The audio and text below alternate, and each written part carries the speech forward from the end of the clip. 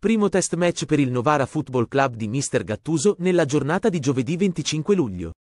Al Piola, infatti, si è svolto un allenamento congiunto con la, la selezione torinese, The Soccer and Academy Sport, completata da qualche ragazzo in prova con gli azzurri. Il Novara FC ha vinto agilmente per 5 a 0. Gli azzurri godranno di due giorni di riposo, prima della partenza programmata per domenica 20.